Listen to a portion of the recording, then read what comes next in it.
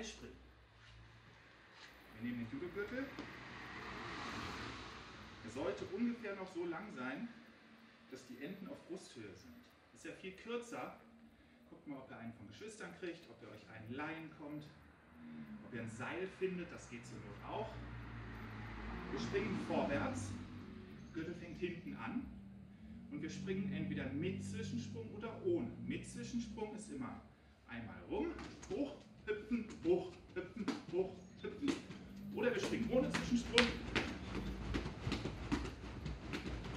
Versucht, dass die Beine immer gerade bleiben, dass ich aus den Fußgelenken springe und so wenig hoch wie möglich. Das geht viel schneller und einfacher.